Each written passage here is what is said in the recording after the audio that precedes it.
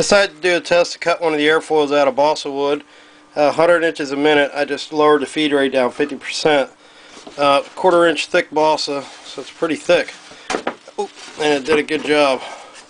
Um, I use those eighth inch tabs. I didn't change the code at all actually, so um, just goes to show that you can do ribbing through balsa no problems. Especially, I don't have any of the of the um, 16th inch balsa, but if I did, you would see it fly through that. You could cut that probably at 200 inches a minute all day long. Gives you a good idea of what the belt system, what the Phlatprinter is capable of.